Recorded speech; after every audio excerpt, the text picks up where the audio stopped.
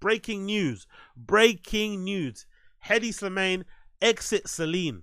Under the designer's tenure, the LVMH owned house became a mega brand with new categories including menswear and beauty. Hedi Slimane has exited Celine. This has been rumored for a while. I feel like these rumors started maybe like a year ago. Maybe a year ago, maybe the top of this year, maybe the end of this year, but I felt like it was rumored that Hedi Slimane will be leaving Celine for a very long time. Now, I don't think it's anything to do with money. I don't think it's anything to do with money because if I'm not mistaken, I remember I saw a report one time where allegedly during Hedi Slimane's tenure, um, Celine was making like 2.5 billion, and before he joined, they were making half a billion. So he definitely has increased um their turnover and profits and shit. And you know, in terms of what they put out clothing wise, most of it you don't see on runways because he doesn't take part in the regular fucking fashion weeks and shit. He mostly does these really cool but I would imagine very expensive and labor inducive um sort of like um shows around the world mostly i guess mostly in like france i think in these really really um amazing luxurious country estates and stuff and houses. Um they film them from multiple angles with drones and very high value high level production cameras and shit but they're mostly always on video. I'm pretty sure most of these collection runway stuff is on video. You can't even see that stuff on vogue runway. But from what I remember seeing, a lot of the stuff was fucking fire. It's a particular sort of vibe, you know, Hedi Slimane, you know what he's into. That sort of like what what you deem it to be like 70s, 80s rock, indie rock sort of like flavor that he does, similar to what he did before at Saint Laurent, similar to what he did before at fucking um what's it fucking called? Um ah it, it fucking escapes my head at the moment. But he's been doing that particular look at loads of fucking houses, but he just kind of, you know, tweaks it a little bit based on what sort of house he's in. But I personally think the stuff he's done at Celine has been really good, especially the women's. Even though I prefer him obviously for men's stuff I would wear, I think the women's the women's line at Celine under his tenure has been very fucking strong. So many great accessories, footwear, jackets I really fucking liked. Styling is just always tip top. I don't know who styles he shows. Maybe he does it all himself, but the styling is always fucking amazing. And it's just gone from strength to strength. And that's again, that's without it being like super in your face with the marketing. That's without it being super in your face with the influencers. Even though no, sorry, that take it back. They do they do have a lot of influencers out there, but if I remember correctly, they were very very young sort of like, if I'm not mistaken, maybe even under 25 TikTok influencers and shit. And obviously, a lot of guys and girls from the K pop world of things wearing their stuff. But this is without them doing the conventional marketing influencer, you know, stuff that most brands do. They were still fucking killing it, still making a bunch of money, um, not taking part in the regular fashion weeks and still fucking killing it. So, this to me, if I had to say why he left Celine, because if I'm not mistaken, this is the end of his six year contract so they didn't renew it. So I think negotiations were happening, but from the onset, it seems like there was some sort of conflict, some sort of debate, some sort of argument within that renew, re, you know, renewal period. So knowing how fashion works, knowing how fashion is a business, most likely, I would say the reason why they haven't renewed his contract is because he's a pain in the ass to work with. I think so. I think he's a pain in the ass to work with. I think this thing that he does where he wants his studio to be where he lives. If I'm not mistaken, the atelier or the main design studio is probably in LA where he lives.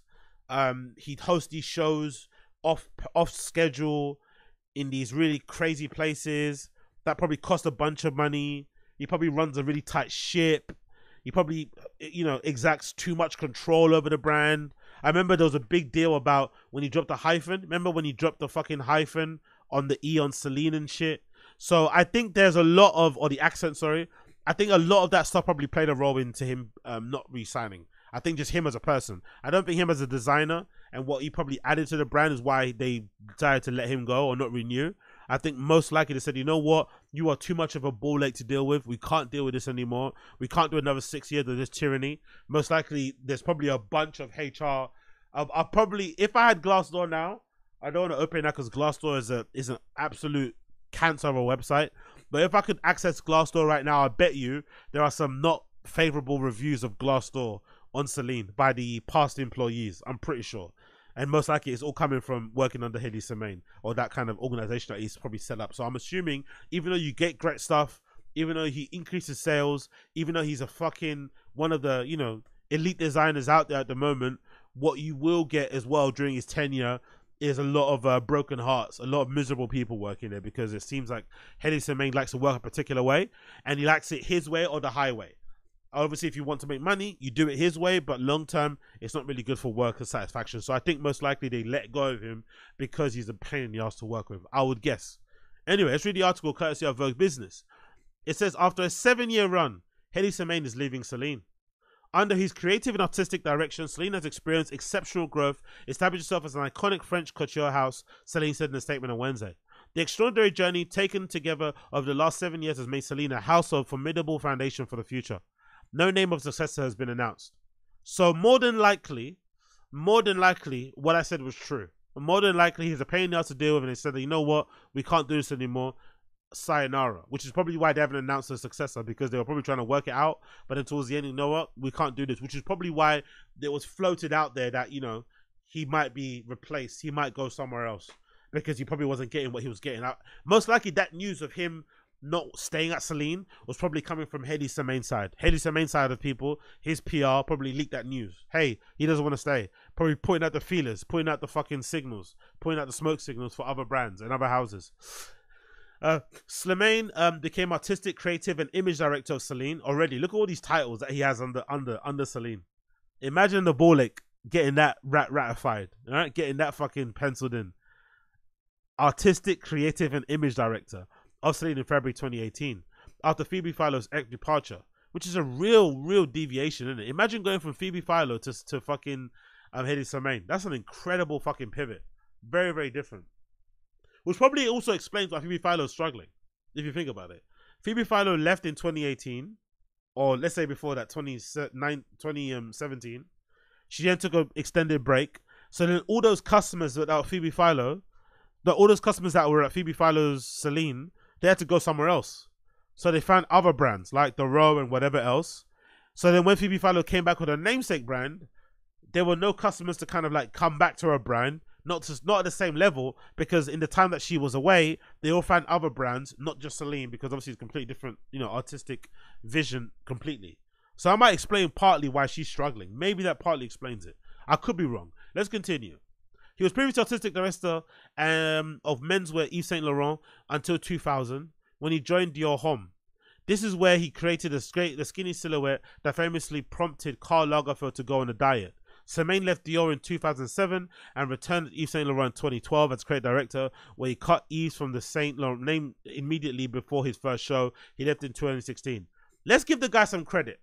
Cutting the Yves from Saint Laurent was a genius move especially when you remember how much of a genius Yves Saint Laurent, Yves Saint Laurent was when he was alive. I think cutting that Yves from his the name of it allowed other designers to come under and do their own thing, while still honoring the legacy of Yves. Do you know what I mean? That was a genius move. At the time he did it, everyone was obviously spitting blood. But now we look back at it, that was a fucking genius move. Now anyone that comes behind, who's the guy there now? Um, Anthony Vaccarello, or however you fucking pronounce his name. Everyone's gonna give it, give, given a chance. You, you, you won't feel as much of a weight working under that house than if you did before when it's just the name, full name on it. That was actually a genius move. I still say his best work even more so than Dior Homme, even though a lot of the Dior Homme Hedi Slimane stuff is still there's still some legendary pieces till this day people are collecting. I think back to like one of the best things I remember Hedi Slimane creating for Dior Homme back then was those if I'm not mistaken, they were like silver they were like silver sequin skinny jeans.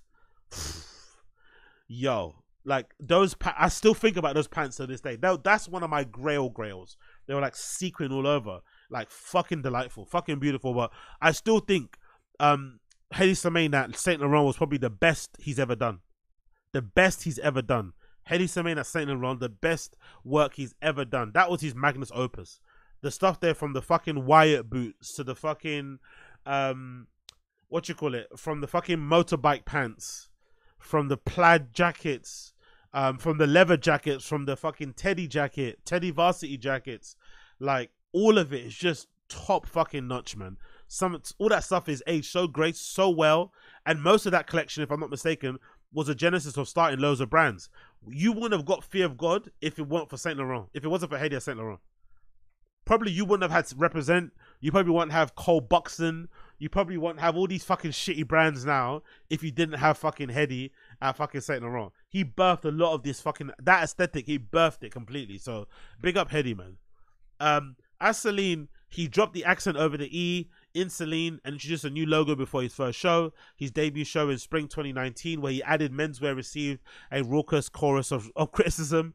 Wrote the Paris, um, sorry, Washington Post, Robin Gavin, Robin Givhan, sorry. In a single evening, he has blown up everything that Celine was, flushed it clean. His name might not be on the label, but in every respect, the brand might as well be called Hedi Slimane. Givhan wrote for Autumn Winter 19, he shifted to a bourgeoisie French girl look. This time, it was a near um what you call it unanimous we. So I I think a lot of houses like this though. You know what? I think a lot of houses like this, similar to like football managers at clubs. I think football I think football owners at clubs or football directors when they hire managers. Oh no, yeah, football directors when they hire managers, I think they want them to do their own thing. Like even if even a football director is like, hey, we want our team to be possession based, and they hire a position based manager, they want you to do possession your way. They don't want you to come in and do it a particular, you know, route one football, but they want you to do your version of possession based football. Same goes for fashion. I think when these big fashion houses hire these manage these fucking designers, they don't want you to just like, you know, take the codes and just sort of like do it in your own voice. They want you to do your voice under the brand like because they're bringing you in for some of your cool factor. They're bringing you in because some of your with some of your starter, some of your pull, some of your cultural relevance, and then they want you to say, "Hey, okay, cool. Let me now design what I'm going to design under your label. Obviously, take some things from the code, take some things from the archive, but essentially present what I want to present unapologetically under." And I think that bravery is what top designers do. Really high level designers, that's what they do. They come in like, you know what? I'm gonna let my nuts hang. I know you have an extensive archive. But I want to create my own history. I want to do my things my way. Bang. And it's also way less. It's cost effective too, right? Because if you're a designer, why take the risk of setting up your own label when you can just work for somebody else, get a salary, while also technically doing your own label? Exactly. It continues. At LVMH annual earnings conference in 2018, soon after the announcement, Slimane's appointment, LVMH chairman and CEO Bernard Arnault said the objective with him is to reach at least $2 billion to $3 billion and perhaps more within five years. At the time, Celine sells close to 1 billion. Five years later, sales reached an estimated 2.6 in 2023. So he was just short. So maybe that's the reason why. Maybe part of the reason why he got let go or they didn't renew his contract because he fell just short of the 3 billion target because he did 2.6 billion. But I think in general, again, given that how given how um, press shy or press avoidant Hedi Slimane is, given that they don't do their shows traditionally during the regular Paris Fashion Weeks and shit, given that they don't invite people to view the show and it's all fucking YouTube videos and shit, and how that works and blah blah, and having a stranglehold on sales and blah blah blah blah blah, still to be able to do 2.6 billion is a fucking good look. Um, and they've only just introduced beauty. They've only just introduced beauty as well, if I'm not mistaken. So it's not even like he was making most of that money through the sale of like beauty and shit. They've only just introduced it, I think, this year or maybe last year. So all of that was coming from ready to wear. Wow. God damn. Making LVMH's third fashion brand, third largest fashion brand, sorry, after Louis Vuitton and Dior overtaking Fendi in terms of revenue. Slimane oversaw the introduction of Celine's fragrances in 2019 and makeup initially in the form of lipstick line that's, that's slated to follow in the autumn. So yeah, beauty only is introduced this autumn. Jesus Christ. Um, having shielded, having shielded, uh, sorry, having shied away from the press from the start of his company, Slimane more or less stopped doing live runway shows after the pandemic, even after other designers LVMH stable resumed regular shows, although he receded from public view. His out his amalgam of, of Parisian haute bourgeoisie and Los Angeles rock glamour remained persuasive vision. Imagine, bro. He's not even living in Paris. I don't think. I swear to God, he lives in LA. Um, because I'm, I'm sure I've read reports of him like attending like random indie shows to go and do his casting and shit to find like hot skinny guys and girls for his shows and whatnot and to hang out with him. Again, word quiet is kept. Quiet is kept. I'm actually surprised no funny business has come out about Hedi Slimane. Maybe maybe he's well behaved, but not to put any smart in his name because he's again he's one of my idols and I fucking love him the same way I love Hiroshi, Rick Owens, Jun Takahashi and shit. But I'm actually surprised there hasn't been any rumors or news of Hedi Slimane being a bit of a creep because he loves hanging out with young kids. Like he's always about like he's actually he actually might be a really good A and R. He actually knows he's plugged in, plugged in. He knows all the big popping bands are happening that are bubbling on the sur- under the surface. He goes to a lot of these indie shows, synth pop shows, hardcore shows. Like he's there, he's in the field. So I wonder if that's just him just being a fan of youth culture and just hanging around, or if he's actually there to like, you know, pick up some boys. It continues. In December 2022, Slimane chose Los Angeles, the city where he lived and worked as Saint Laurent's creative director for his first physical runway show since the pandemic, titled Age of Indieness. So indieness. If Slimane is ever going to stop at, step out of his opinions brand, his nostalgic collection would surely be the basis wrote Vogue's Christine Binkley. Still standing free from the fashion calendar in early September, he unveiled his spring 2025 collection in the format of a 13 minute film he directed called The Bright Young. This past weekend during Paris Fashion Week, he also released a spring 2025 film titled En, On un et français. Un et français. The designer sent out a tweed heavy collection, um, prompting commentators to believe he's leaving Chanel, which is yet to appoint a new designer. So this is interesting because now I'm finding out actually I was wrong. He does show his shows during the fashion weeks. He just doesn't show runway shows. So they just always release as films on YouTube and shit or live stream on his Instagram account, which is still kind of the same thing I said. But just to clarify that he does actually still present during fashion weeks, just not with normal shows that you could be invited to. They're usually in these like amazing, like literally amazing crazy houses. I don't know whose house, who who owns these homes or these fucking palaces and shit, but they are fucking beautiful. If you watch them on YouTube, honestly, I recommend you do. Celine continues to make strong progress. Said Arnault during the LVMH annual meeting in April. Celine is chic, hip, sexy fashion for young people, even if the prices are what they are, um, and it works. I was in Japan last week with Delphine Arnault, and I could see what in, I could see that in front of the Celine boutiques there was an incredible line up to two hours. Where where will Celine land in his next act? Fashion we're watching closely. So people are assuming he's gonna go to Chanel. People are assuming that, but you know the world is his oyster. Really, he can kind of write his own ticket. Even though he's a bit of a nightmare to work with, clearly, even though he might be a bit of an asshole behind the scenes, the work speaks for itself. And I think nowadays, given the dearth, given the lack of talent that can actually make money, I think a lot of these brands, some of these houses would want would love nothing more than have Hedi Slimane, you know, under um their fucking house, you know, steering the ship and shit. They'd fucking love it. Obviously they wouldn't love the control he would exert and shit and the terms that he would try to negotiate for, but when it comes to making money, the bottom line, he's the guy. He's actually the guy. But I'm curious, actually, if he doesn't go Chanel, would he try and do what Phoebe Philo's done and, and do his own namesake label? Will that be an option? Because if he does his own namesake label, he could legitimately move to the beat his own drum and do everything the way he wants to do it. Whether it's dropping one collection per year, one collection, you know, two collections per year, three, four, whatever. He could do it any time, off calendar, off season, whatever. He could decide how he fucking presents it, is it done in the form of zines, videos, long form things, whatever? Who fucking knows? I'd actually love to see that. I'm not gonna lie. I would actually love to see Hedi Slimane namesake label. Like, imagine having a fucking a leather biker jacket with a label that says Hedi Slimane in this really crazy, amazing font that's been fucking designed by Jony Ive or something. I'd fucking love to see that if that's possible. But let's see how it plays out. Big up Hedi Slimane. Big up Blood Clot Hedi Slimane.